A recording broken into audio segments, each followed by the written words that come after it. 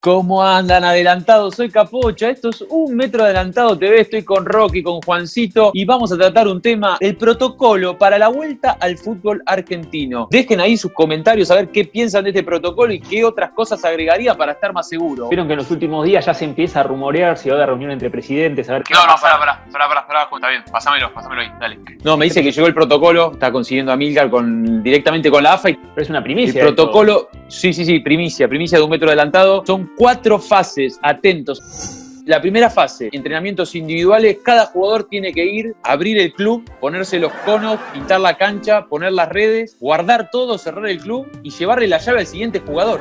Bueno, calcularon que para esta fase dura 172 días. Bueno, dice que después de cada ejercicio el jugador se tiene que tomar la fiebre y subirlo a un Excel que está colgado en la, en la nube de la AFA. Así que, Bueno. que tiene que llevar una notebook el jugador. No, estoy pensando, qué sé yo, tipo como Pablo Pérez, que siempre están recalientes. Digo, por ahí no es COVID, por ahí es porque está enojado, siempre está enojado en la cancha. Se plantea el caso de qué pasa con el que estornuda en un entrenamiento, ¿viste? Hablaba de una reeducación colectiva, correctiva e insistente. Yo la verdad que términos médicos, raro. epidemiólogos, muchos no conozco. Y lo que Sí. me dijo el especialista es que básicamente lo cagan a palo. Pero. Sí, sí, pero con Ah, barbijo. o sea- ¿no? Se pone el barbijo y le dan. sí. Ah. La siguiente fase, bueno, la fase grupal. Las primeras semanas serán entrenamientos de grupos de una persona. Así que lo único que cambia con respecto a la etapa anterior es el nombre, dice. Después se van sumando de a poco, dice, de a media persona. dice. Así que hasta hacer la transición van a tener que entrenar con algunos enanos. Ni él puede jugar, ponele. Y claro, miel o enanos, enanos de circo, que entiendo que se van a empezar a comercializar por Globo, por Rappi. Veo que Gimnasia es un equipo que por ahí no va a poder contar con todo el plantel. Eh, se me viene la cabeza Ajá. barrios. Hoy por hoy la lógica Sí. de la provincia es a los barrios aislarlos. Acá en Argentina Sí. ya tenemos equipos que constantemente conviven con virus. Habría que preguntarle a Unión de Santa Fe, que tiene a Trojansky, ¿no? a ver cómo hizo para, para, para entrenar con ese virus, digo. Pero la tercera fase es lo que estamos también hablando ahora, el entrenamiento de equipo.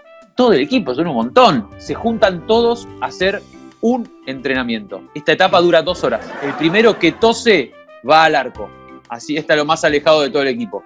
Está prohibido el bullying del tipo no corres a nadie, te alcanza un respirador, con eso no se jode. Poner en el arco al que tiene tos, el delantero rival lo piensa dos veces antes de pisar el área. Había escuchado que Sí. iban a usar la, la cabina sanitizante. En Europa se usa la sanitizante, acá se va a usar la sanetizante, que es para mejorar las defensas de los jugadores. Lo que van a hacer es, tener que estar 10 minutos adentro de la cabina viendo videos de Zanetti, te van a hacer un rejuvenecimiento facial, te van a inyectar los cuádriceps para tener la- las gambas que tiene el Pupi Zanetti. Está el CONICET desarrollando y que dicen que Alberto Fernández la presenta la semana que viene. Pero a mí me preocupa cómo van a quedar un jugador con un montón de piernas y, y arriba un torcito así. Porque, viste, Zanetti es un. a- abajo es terrible. Habría que complementarlo con, con Sí, otra habría que buscar máquina. otra cabina, fabianizante, ponele, o sea, un poquito más de lomo. Porque un Nacho Fernández con las piernas de Zanetti va, va- va a quedar medio raro. Sí, va a quedar como ese perrito, el del meme. El que es todo así, cosa, pero de las Pero al revés. Pero de las piernas. pero al revés. Muchachos, la cuarta etapa, la etapa de los amistosos. Se juntan a jugar un amistoso, uno, antes del debut. Esta etapa dura 60 minutos, porque son dos tiempos de 30. Tampoco hay que fundir motores, dice acá. Claro. Mirá lo que mirá el, el lenguaje coloquial que usa la AFA. Dice el que pierde paga la cancha. También para motivar a los planteles. Y por último, se le hace un test definitivo a cada jugador. En el que se le pregunta, ¿tenés COVID? Y el futbolista tiene que responder sí o no. Si alguno da positivo, vuelve a arrancar todo el plantel. Todo el plantel desde la fase 1. Yo pensé que iba a ser algo más científico, pero evidentemente no, es una pregunta. Lo- Los, nuevos test que están viniendo de China eh, tienen esta, como esta rapidez, esta facilidad en el cual, nada, sincerate, man, te dice, ¿tenés, tenés COVID? Claro, lo pueden llevar a Diego Díaz a comentar el entrenamiento y ahí ya llegan a tren.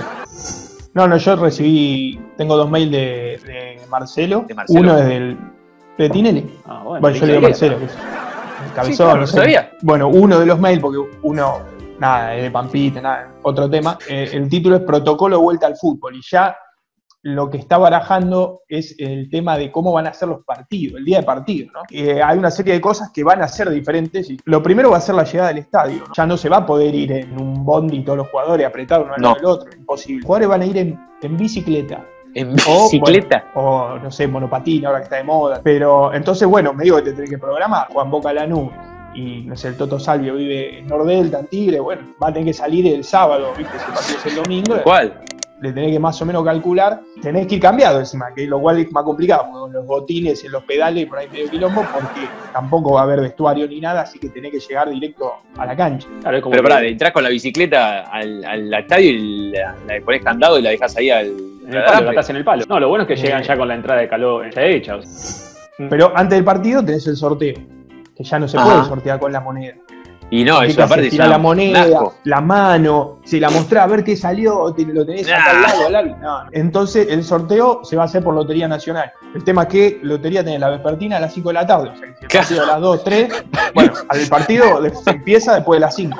El partido a las 7, 8, tenés que esperar la nocturna, que es a las 22. Empieza el partido, en algún momento va a empezar. El codazo va a estar permitido. Hasta que termine la pandemia, el codazo no pasa ¿Cómo? nada. Y están fomentando el tema Ah, por el saludo. codo, no usar la mano, entonces el codazo está todo bien. Vos pegas una patada, es roja, pero el codazo, Correte, ¡pum!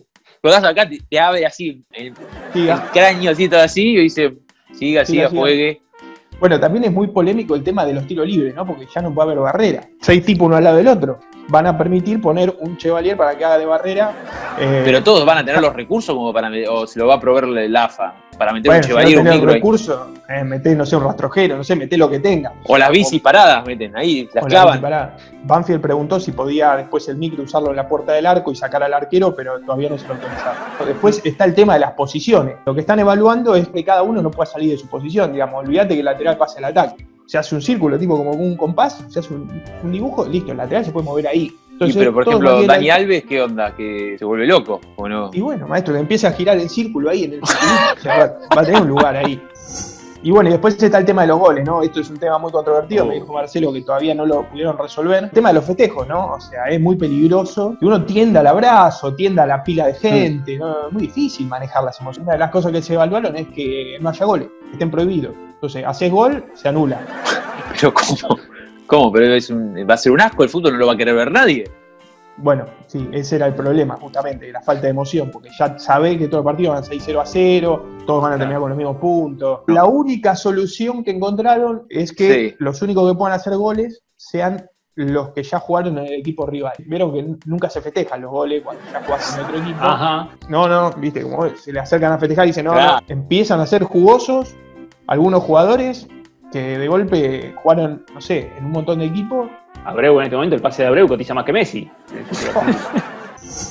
por todo lo que estamos escuchando, leyendo acá, yo creo que por ahí la, la solución para, para todo esto es elegir otro deporte y olvidarnos del fútbol. Yo entiendo que alguna vuelta le vamos a encontrar con este protocolo que nos pasó la AFA, con estas, estos nuevos datos que tenemos de, de- de Marcelo Hugo, que la gente vaya sumando, ¿no? Que a ver qué le parece este nuevo protocolo, que sume, si tiene algún comentario de, algunas nuevas reglas que conozca, que se vayan a implementar. Así que le dejamos abierto el espacio y que le ponga like al video, que pueda compartirlo, que, que- que pueda seguirnos, que todos los lunes y jueves subimos videos a, a Un Metro Adelantado TV, así que denle a la campanita. Y bueno, muchachos, vamos a seguir construyendo el mejor fútbol argentino y como decimos siempre, el futbolero, el futbolero entiende, hermano.